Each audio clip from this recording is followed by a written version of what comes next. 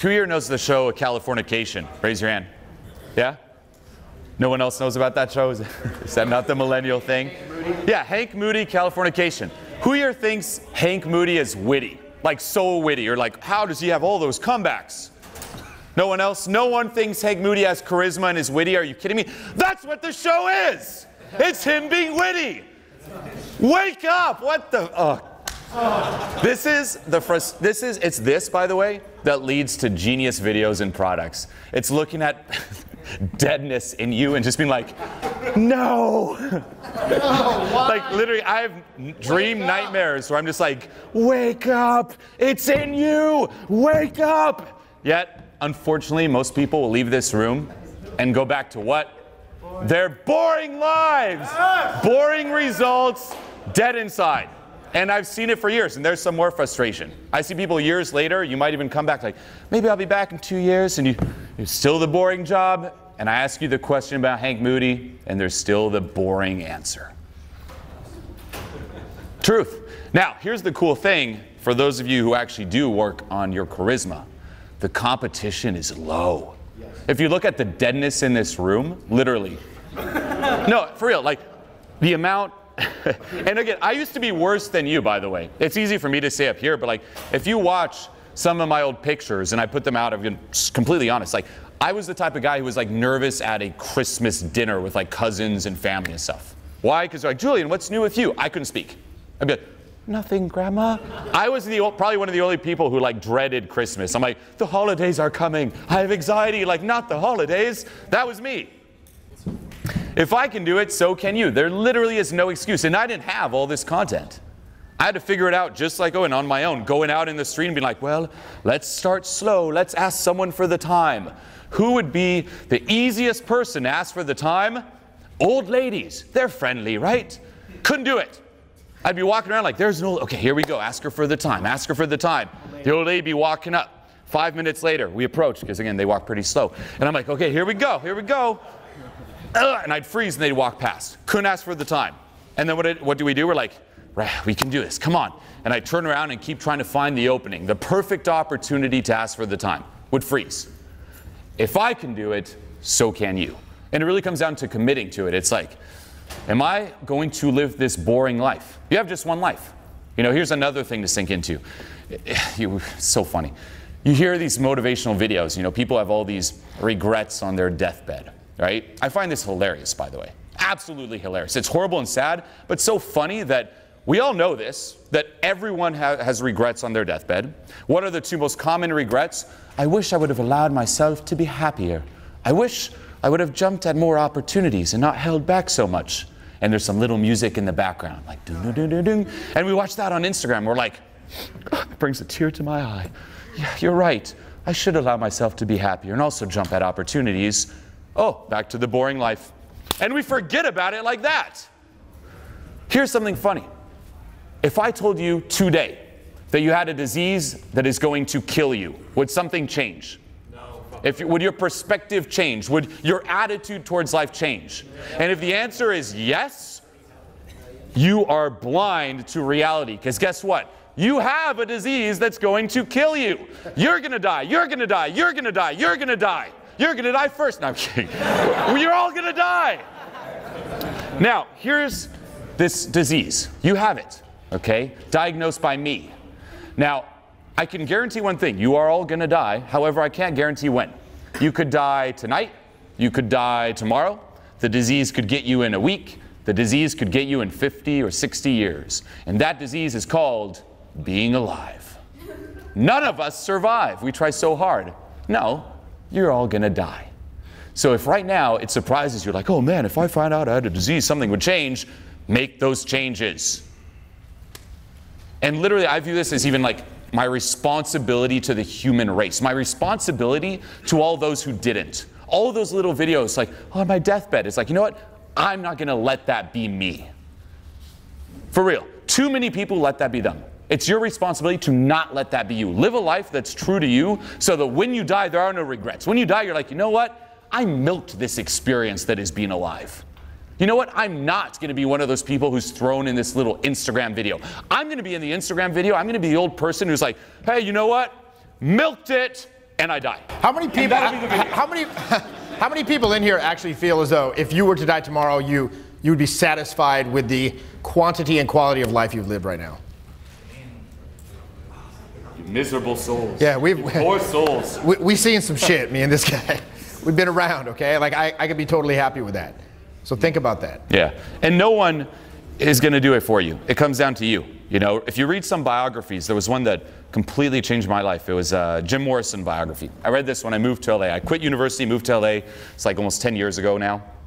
And I would read it. And I was fascinated with people who had charisma. And for me, he was one that had like, the, he was my idol of charisma. You know, I loved the original, again, the actual Jim Morrison, but then I also liked the movie remake. People hate, the, the actual Doors fan hate the movie remake. They're like, it's exaggerated. It's, yeah, Val Kilmer, oh, they hate it. I loved it, and I loved the portrayal because there's that same charisma. And I would read the book. You know, I'd read the main biography, I'd read the ones that the drummer would write, any little bit of information I got. And I'm like, you know what? Why can't that be me? What is blocking me from tapping into that or living that type of life? Nothing. And I went for it. Why? Because you're going to die. You know, we play it so safe. It's like, yo, life's going to fly by. You're going to die. You don't have to play it so safe. Even if you mess up, eh, you'll be dead soon enough. So why not try? Why not go all out? Why not live your life so when you look back at some crazy movie? You can all do it. Why don't you? You know, here's another perspective to sink into since we're diving into death. Think of life as some crazy video game. You know, say I had like a new GTA minus the killing and, sh- and stuff, you know. Here's GTA 10. It will come out in 50 years. I lend it to you. I'm like, you have seven days to play the game, then I want it back. That is life. Imagine this experience alive. It's like you're born. It's like, here's your body. You're like, okay, uh, you got a certain amount of time, but then I want the body back. How are you going to live your life so that when you give the game back, or say there's an afterlife and you're in the afterlife and someone asks you, like, hey, so what did you do with life? You're like, well, I played it pretty safe. I, you know, I got my boring job and my boring commute and my boring breakfast, but it was a safe life, and here I am. That's like saying, I get the game back. I'm like, hey, so did you have fun with the game? You're like, well, no. I mean, I, I walked around this one block in, in GTA 10, and it was very safe. And I did it. I was like, okay. And, but, but I did make a lot of money. I'm like, oh, really? Yeah, I did the taxi cab missions. Um, I, it wasn't very passionate, but I sure started collecting that money. And uh, now the game's done. That's what we do. No, if you had that game and I'm like seven days, you'd go explore, right? You see, like, what is this game? What are all the different areas of the map of this game? Let's go all out. You might try the taxi cab for a day, and if it's not for you, it's like, well, that's not for me. Let's try this other thing. Treat life that way. How are you going to answer that question? When it ends, someone asks you, so what did you do with the game? Are you going to be the taxi cab person? Are you going to be the person who just like doesn't even touch the controller, just stands there the whole time like, well, I didn't really play at all? Or are you going to milk it? Are you going to be like, man, I tried everything in that game? Everything. Who are you going to be? Because that day will come. I mean, who, who knows if someone will ask you after? who knows if there's an afterlife? Someone's like, so, the game that is life? But yeah, jump in and mess around. You can't really mess up. It just adds to the journey the story. And guess what? The journey and the story and even the mess ups add to the charisma you have. Because now you have some crazy stories to share. Most people are boring and run out of things to say because they haven't lived. They've just existed. I'm banned. I'm banned from a continent. He is. How many people? how many people can say that? Say, are you are you banned too, Greg? No. Maybe after this video, you'll be banned. Now, the goal is not to be banned. Greg has proved this. You can have charisma without being banned. Because I might also be banned. We're not sure. We're not sure. We haven't tried to go back. But it's true. But if you think about it, like even awkward situations in your life make for great stories. Even failures in your life. You take a risk and say you fail. You're like, oh, you know, I lost all that money and I failed. There's an amazing story to share. You just have to be willing to put yourself in those situations. You know, there's a quote from um, uh, the author. It's like uh, Hunter Thompson, the Fear and Thompson. yeah, Fear and Loathing in Las Vegas. So it's not from that, but he says, you know what? You should arrive at the end of life. It's like the finish line, is if you're in this car and the wheels are falling off, not because you lived an unhealthy life, but because you really lived. Like you drove that car and you're like arriving, it's like wheels fall off and you're like, I lived. As opposed to this clean, mint condition car that's never been driven. And it's like, I, here it is. I lived, I guess. No. Live. And embody that even while going out. Experience. Like, there's nothing that feels better than when you tap into that charisma and you unleash it. There's nothing. You're fully being you in all cylinder, like everything's just aligned. It just makes sense. Flow, it's what, what they call a flow state, right? Yeah. Or peak experience. It does require feeling. If you're someone who just lives up here mentally in the mental, logical, analytical realm, you will not have charisma. That is the land of the robot. It's like, I am trying to have charisma. I will say the same line Julien said, and hopefully it will also be charismatic. No, you got to learn how to feel. Get into your body. If you can't feel, there's step number one. And guess what? Most people can't. Most people, even in terms of expressing how they feel, even a smile, they are unable to smile. Client after client, in terms of going out and socializing, I'm like, give me a smile. What's their smile like? It's like, like that. I'm like, what is that? It's like, I'm, so, I'm like, smile. They're like, they can't smile. They can't. They, they, have, a very uh, and they're like, deadpan face. It hurts. I'm like, smile more. To the point where it's like tears are coming out. It, it, hurts. We call it, uh, we, call it, we call it sad face, SAD, like serious, anxious, and depressed. And it's just it's just this this kind of like mask yeah. this facial armor that they wear. Or the blockage, like it looks like they're about to take a dump. They're like, like so stiff, so nervous. It's like. But you know, but, but to speak to what he was saying about like arrive at the end of life in the beat up car, it's like, e- even on a microcosmic scale, when you're going out, I don't remember rejection. I don't remember that. I, I, likely you don't either. And I know that you may have heard us say that kind of thing before, and you might think, oh, that's some kind of hyperbole that they use to say it's okay to, to be rejected. It's like, no, no, no. We literally cannot recall the details of the specific rejection. Mm. Right? I, it just like, oh, now, to be fair, if it was like some sort of mechanical error that I made that, that caused it, or I, I slipped up, I did something I, I shouldn't have done, okay, let's etch that little neural pathway, remember the lesson, like reiterate the lesson to myself, but then the specifics are not written to disk. Mm. It's just like some nebulous face that was like, nice to meet you, der, and like ran, you know, walked off. So, but what I do remember very vividly is not taking action. I have like a memory that just flashed now. It's like at the train station waiting for my train to go home in Switzerland and just not being able to say hi to anyone. I'm like, I gotta be more social. Couldn't say hi to anyone. And that state there. It's like the self attack kicks in, the disappointment, even the hopelessness. We're like, is it ever to work for me? What if it never works? What's wrong with me? Why do everyone else have it so much easier, but not me? And that just stings. And I'm sure you've experienced that. You go home and like, you have a good cry in your pillow and then you try again. But that does sting. It's not this fake front that you manage. And that's how I used to feel. It's like, there's me, and I'm just like, okay, I must put on this front, the acceptable front, and it was a very stifled, shy front. And then I'd go out and I was like, well, got to maintain it. They can't see the real me because I'm not good enough. If they see through this front, that's bad. I got to get validation to reinforce the front and I got to act through it. It's just so much pressure and heaviness, and you just feel that inauthenticity. It's like being the ultimate people pleaser. You know, we think people pleasers just saying yes when we mean no or no when we mean yes, but no. Most of society, we're all people pleasers. And this is why most of us, even when going out, it's like we feel like imposters, right? It's like, oh, they're going to discover the real me. What does that mean, discover the real me? Why are you not putting the real you out there? Why do you believe that the real you is so pathetic that you have to hide it, right? And when you actually put it out, you tap into it, you have that self respect where it's like, you know what? No. I'm no longer going to compromise who I am. I'm going to put it out there and you just feel alive, there is no going back. There is no going back to the fake front. You just can't. You fall in love with it and you fall more and more in love with it every day. And every day you learn more about it. Like that's the beauty. It's like at first, you'll have the gist of what charisma is. You're like, wow, I can unleash it.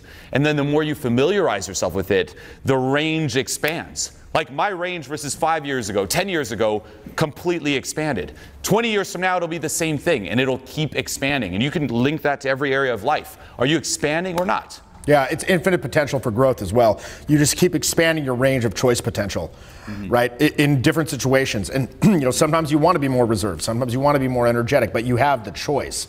You're not defaulting to one or the other. Yeah. You know what do most guys default to when they when they go out to, to meet someone? What do most people default to when they're at, when they're trying to socially interact with someone they just met? Saving boring. Yeah, so generally they will default to interview style questions. Yeah. So, what do you do? Where do you live? What about local sports team? The weather certainly has been interesting lately, has it not? Oh, what do you do? What do you do? Oh, did I already ask that one? do you like it? So the, the, the thing is, most most people that default to that, they do that because they don't know what else to do. We could even go up and, and speak to people and use the interview style questions and have it work. And I've done that before. I remember I, I was out with my friend uh, Kyle, and I was like, tonight, let's do chode night. right? We're, basically, we're just going to go up and we're just going to say, so, what's up? You're beautiful. Where do you live? What do you do? Hand on the lower back. And we're like, okay, this is going to be a disaster. Okay, get ready. Uh, here we go. So, but then it started working. Like they're like, oh, hey, no, I did. And they were responding very, very well. And I was confused. I was like, what's happening here? And I, and I realized it's because they could sense on a certain level. For, again, for most people, when they're defaulting those interview questions, it's like a, it's like they're desperately treading water. Like, oh, I hope the questions don't run out.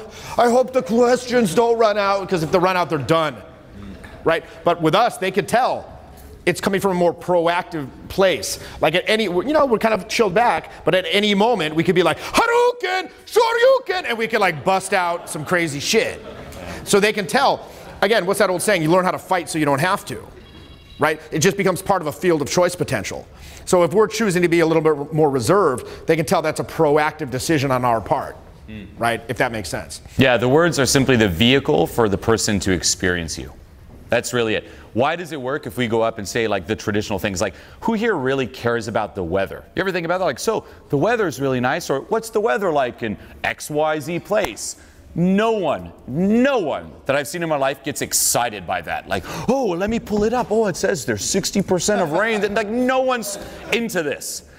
How is it that we make it work? Because we find it funny. It's when you actually start enjoying, like, oh, this is funny. We're going to the regular boring questions. It becomes this inside joke with you. And then guess what? What does the person experience? Whatever you're experiencing. If you're laughing at it, like, oh, I'm doing like the boring night, like, what's up? And it's like, uh, not much. What about you? Not much either the weather. It's like, I find that funny, and it'll work because that person will also find it funny, as opposed to the traditional person who's like, tell, please like me. What's up? Don't make me look, yeah, do, you, do I'm cool? Do, do you like the what's up question? Look, I studied the weather. I really studied the weather for you. In fact, that would actually work better if you said it like that, yeah. That was a huge an answer prepared. Like, what's the weather? You're like, well, I've actually studied this very carefully. Meteorologically for me, that was a huge realization. Uh, was that people are not as attracted to the content of what you're saying so much as the vibe. Yeah. Now, look, don't get me wrong. I know that sometimes I see people become attracted by the content. I, you know, I, I got bars, as they say, and, and, and sometimes like I see them becoming attracted to me because of the, the content. However, it's more of an intellectual uh, attraction, if you will. They're like, oh, my, his brain seems to work. Might be a little crazy, but uh, you know he's able to be unstifled in a social pressure situation and come up with these things. Okay, that, that's interesting. But beyond that, I mean that he knows a lot of words. Yeah, he knows a lot of big words. I used to uh, read the dictionary as a child for fun. It's a true story. Didn't have a lot of friends. Uh, the dictionary was Merriam-Webster was my friend, but. Um, falling asleep like yeah, falling asleep. Yeah, you learned a very yeah.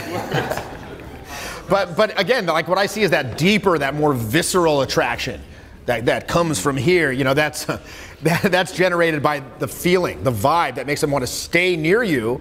Yeah. And then, so again, that's sort of like a vertical expansion of feeling, but then you also have this horizontal expansion of plot development, if you will moving it towards the goal of the interaction, whatever that is, whether that's you know be- becoming more intimate with that person, or whether that's closing the business deal, or resolving the conflict, whatever the case may be. I- again, you you have this this vertical uh, idea expansion of the vibe that's causing them to want to be around you. That forms sort of the ostensible reason that they're even there. And then you have that external knowledge, like I said, that we've gone over in excruciating detail over the past 17 years in our back catalog of how to move things along, you know, towards towards an end goal. Yeah, think of it like a movie script, where it's like, of course there has to be a script to a movie, but guess what? If the acting is bad, that movie is bad. Yeah. Right? So you got to master the acting, and then of course think of it even like this you could have the most amazing script with horrible acting, or an average script with amazing acting. Which movie is going to succeed? Right? Yet, what do we do in terms of interactions? I got to master the script. It's like, no, learn how to not be an actor in terms of like faking stuff, but learn how to embody some life. You know, and then if you combine that with, like you said, some width or a good script, then it becomes even better.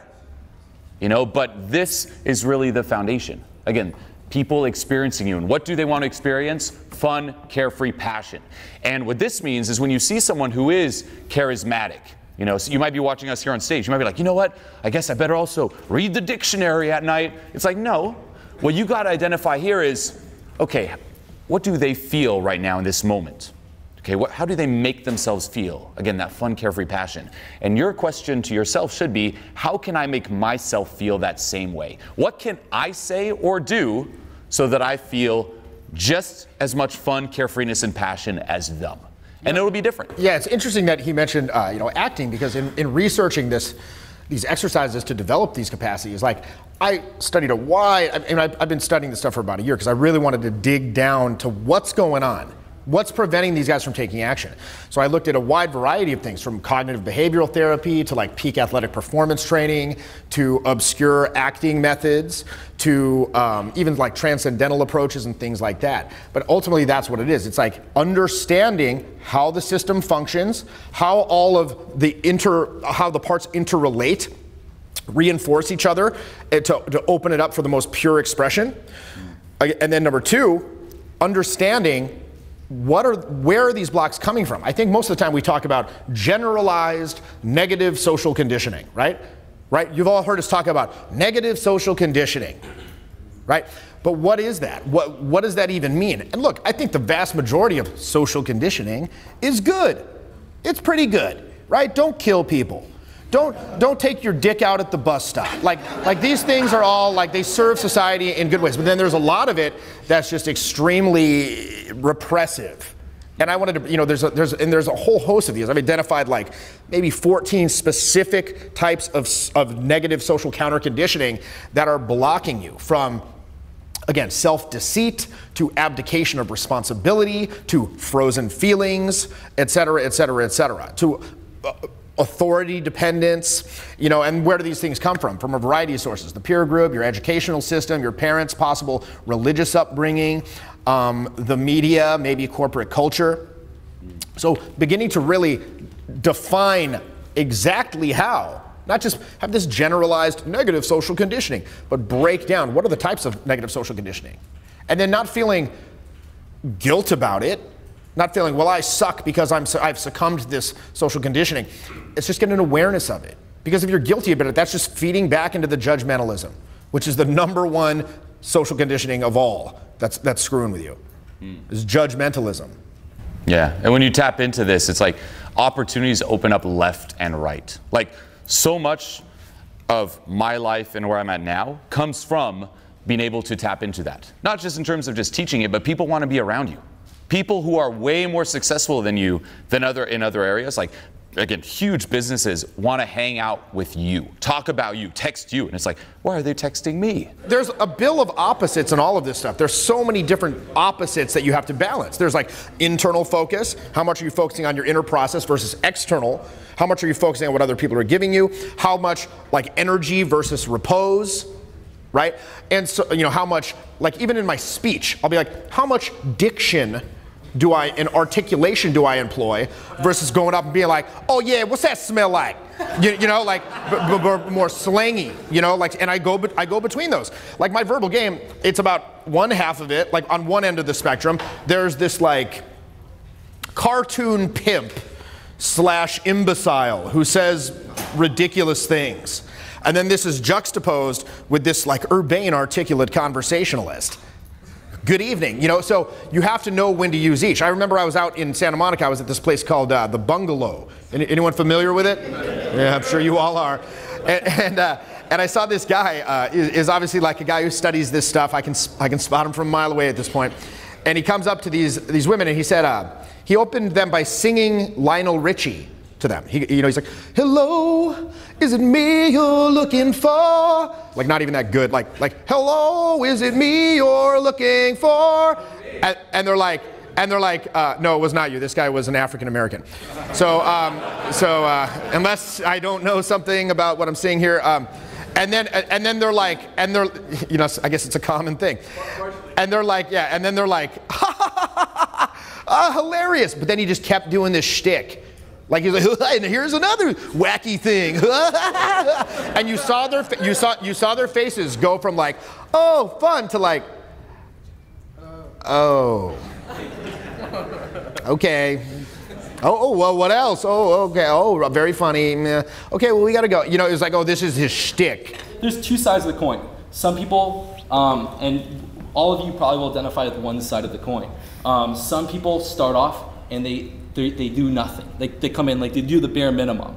Um, And they're just like kind of weak and soft and they need to speak up and they need to be more charismatic. But then other people come on with a bit too much energy and it, it feels like a shtick. Like it feels like, hey, I'm Bro Gallagher, you know, fitness coach, we're gonna get jacked. Like that's not how I sounded. You know, we're gonna do, you know, or your your voice becomes a little more like it becomes a little more enunciated. Like we're doing intermittent fasting, black coffee. so, like, but you, uh, if you guys like put your hands up, if you're if you tend to be a little more on the soft side, where you're too chill and boring, that's less than half. Uh, Maybe half, and then the people, who's the people that come on like too strong? I can guarantee in this crowd, 90% of you are on the more chill. You are not too strong. Way 90%, chill. 90% more. Yeah. If you believe you're too strong, that's the first lie to just break. right- Like, nah, stop lying to yourself. You are way too chill. It's like right now, it it looks like I walked into to a room of like beaten children, just like, please don't hit me, sir. Like literally, that's what it looks like. It's like fear. I just see fear and panic and sadness and helplessness. You, you, you know you're good on camera. Like you, a, a good a good litmus test is if you fil- fi- uh, finish the video and you want to watch it three or four times, you're probably pretty good. Yeah. But if you watch it like the first time and you're like, damn. But you know what? Most people won't put themselves out there. Won't, they won't take the steps to hmm. start a business. They won't launch that first YouTube video because they want to be good immediately. And it doesn't happen. Ultimately, what you have to do is just put it out there. Stop thinking about yourself. And this comes, you guys can apply hmm. this to anything. But people get so focused on themselves. Oh my God, what, you know, what if they don't like me? Or what if I'm cringy? Or what if my friends think I'm a loser? Well, if you genuinely want to meet someone, it could be a friend, it could be a business connection, and you feel that you can offer them value, you can help them, you can, you can add to the table, you think that you're worthy of something, then by not taking that step, even if you might be a little awkward, and sometimes you're really awkward, but it still works anyway. But by not taking that step, your your lo- your the, your potential customers, your potential friends, potential partner, they're losing out. Hmm. They're losing out, and just like Julien said, your life is ending. And probably in the last one week, we've all stopped ourselves from doing something that we probably could have done. You know, we've, we've, maybe it was talking to someone or putting out that YouTube video. And so from this moment forward, what we want to do is start taking action. Because you're not going to regret making that, taking that step, putting that video out there, and it's only going to make you grow. And as long as we just sit back and just watch everything go by, we're losing out on this life thing. We're not learning, we're not growing, we're not advancing. This thing is ending. We need to start to build that muscle. It's a muscle just like anything else. Just like going to the gym, doing your incline incline press. just like doing that, you're gonna build that muscle. And the more you take action, the more you put that YouTube video, and you know what? Film something or, or, or do something. You don't even have to post it. Just do the first step. Just film it, and you can sit on it. You know, have a friend that supports you. You know, it's too easy to get caught up in a social circle of people that hold you down. Just like most people, they live their boring life, they get in their boring car. If those are your friends, I'm sorry, that's who you're gonna be. So you need to start to put yourself out there and meet the right people. They're gonna lift you up. They're gonna support you taking that step. And as you do that, you'll be amazed at what happens. If you look at, you know, Julien's probably his closest friends. Jeffy, I know in Toronto, I have really cool friends that are doing all kinds of things, real estate, uh, filmmaking, and I surround myself with the right people because I know how important that is. So as Yeah. you go through life, you want to you want to think about that and be really cognizant, um, and start taking that action, start building that muscle, start getting sharper. Because once you start to build that momentum, it's amazing what happens. You'll be so surprised at how your life changes and unfolds. I love what you said when you're like, don't make it about you. You know, because it's true. There are some videos that I put out where I'm like, I'm not a fan of this one. However, is the content good? Yes. Will it help someone? Yes. And view it even like that. If you're talking to someone, don't rob them of that opportunity of truly knowing you. Don't just put out the front. Let them know you. Get your ego out of it. It's the same with a video. It's like, how do I look? What will people think of me? You're making it about you. Will it help them? Focus on being of service and giving, and you will be unstoppable. This is this is huge. The, the the giving part. It's a huge problem with our generation. Is that people are so focused on themselves. I'll get people Instagram DM me and say, "Hey, I want to build a fitness business. Can you shout me out?" No, I'm not shouting. Do you think that when Julien or Jeffy or even my, I started on this fitness thing, I didn't ask for anything. Yeah. Hmm. I didn't ask for a single thing. I just started putting things out. And if you have that mindset that someone has to give you something, someone has to help you get known, then you are so focused on yourself and you're going into the world asking and taking. And one quote that I really, really love by Eckhart Tolle is that is that we think it's, it's that whatever you think the world is withholding from you, whether it's money, whether it's love, uh, secretly we are withholding that from the world. So we're going through the life thinking just about us, us, what we're not getting, what we're not getting. Think about what you're not giving. And in any interaction, whether you want to make a connection, I've had people that have made connections with me that have no followers simply because they were in a giving state. And I had people that were big that just were, you know, they had this weird energy that I did not like. And you want to foster that really good energy where you're thinking about how can I really help this person? How can I bring something to the table? Because I guarantee once you focus on that and you're bringing value to the table, um, and it doesn't have to be like this, you don't have to, you know, just go and take someone out to expensive dinner. You don't have to spend a ton of money. You don't have to be someone that's super cool, but just be willing to help them and bring in a good energy and not ask for anything in return right away. You know, you want to be assertive at a certain point, but the, the idea is that you're giving a lot of value before you even think about yourself. And that's when the natural uh, law of recipro- reciprocity, how do you say that word? Recip- recipro- Reciprocity. Reciprocity. That's when the natural law of kicks in. And I feel it. I feel it. I, I had someone take me out to a dinner recently, and they took me out to this big dinner at Jacobs & Co. in Toronto, and then uh, like they bought me this nice steak, $300 meal, and I signed up for their $5,000 seminar just because I got a $300 steak. I felt I had to. I was like, I can't take the free steak. I gotta do it. So think about what you can give. How did you get this way? Did you start out this way? That's a question I get all the time. Uh, you know, on, on the live program, I had a student uh, a few months ago now, and at the end he said, Jeff, all right, this has been great, but I have one question for you. Going forward, I, I notice when we're out, you're very ebullient, you're able to interact with people and just be very free. Were you always like this? Were you always like this? And if not, how did you change? And I told him, I said, no, I was not always like this. In fact, if you saw me, in fact, if you saw Tyler or myself 15 years ago, you would have no doubts in your mind whatsoever about your ability to be good at this stuff. None.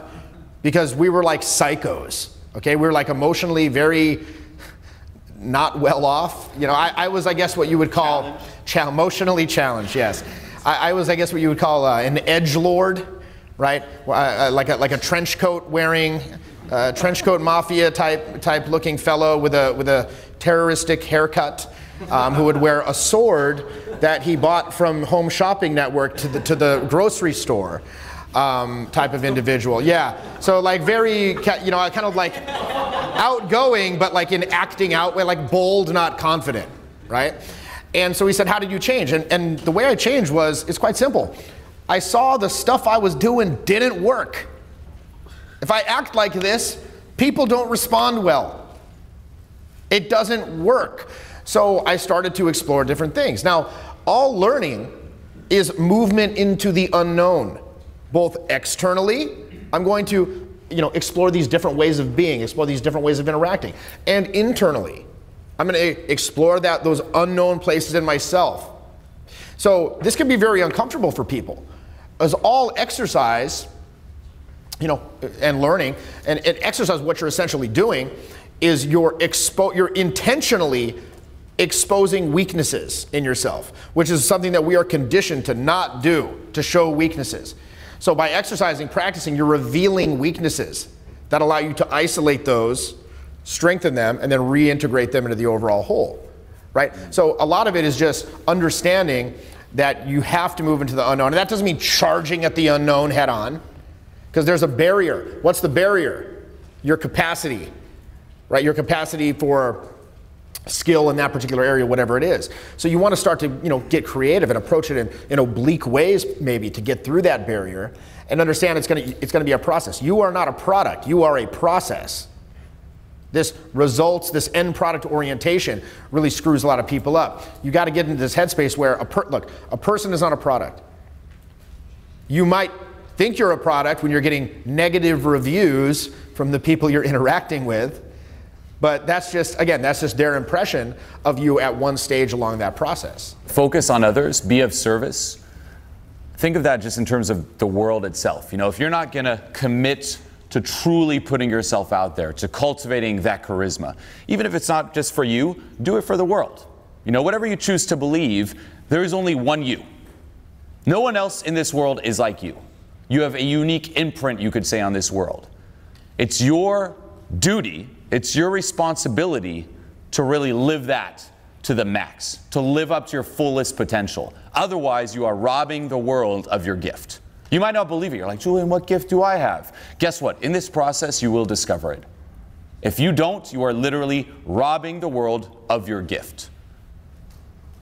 Do not rob the world of your gift. Do not be, unfortunately, like most people, living fake lives, boring lives, just stuck in the mundane, stuck in a routine. Wake up.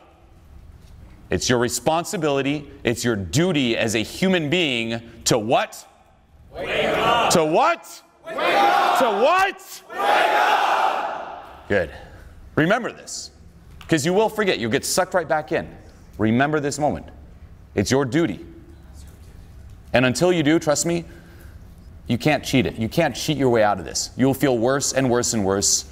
And again, you'll be like most old people where if you look at them, you would never want to trade lives with them because their life went downhill. Don't let that be you. It doesn't have to go downhill. I was talking about before. It's like if you look at some of our old videos versus now, it's going uphill. And it's going to keep going uphill. Yeah, baby. Yeah. Finally, some personality. Yes. Like this program is such a game changer. The way everything's structured and the material, it's been already, even for me, it's just been, I'm noticing a crazy change in, in the way that my whole life's like playing out. What you put together is just incredible. There's nothing like that. I've just jumped like a million levels. It's just been a complete 180 for my experience of existing. That's awesome. it's just been so huge in terms of so many of the things I'm finally understanding and realizing and epiphanies I'm having. What you do is a huge inspiration to me, and I think it's one of the most beautiful things you can give to another human in this entire world. You saved my life, man. I'm telling you, that's this is real, man. Sometimes all it takes is just one person who believes in you. Find people who are where you are in life and model them, work with them. I would not be here if I didn't have people who held me accountable. Wow. I just felt a click and things are changing. This program was just top notch. Seriously, like this is a masterpiece. This is this is perfect. Everything, the way it's set up, the live calls, like all the support from the coaches is incredible. It's it's been nuts. I just had like tears of joy. This was the best decisions I ever made. Thank you for creating something wonderful like this. This program was phenomenal. This program was uh, was amazing. This program has definitely changed my life. I know for a fact I'm in the right place. This is exactly what I was expecting from the program. It's been uh, spectacular. I feel really lucky to, to have found you. Thank you so much, Julien. It's uh, it's worth every dollar.